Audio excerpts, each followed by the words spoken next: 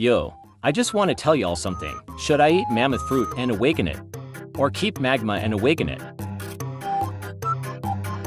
Should I eat it?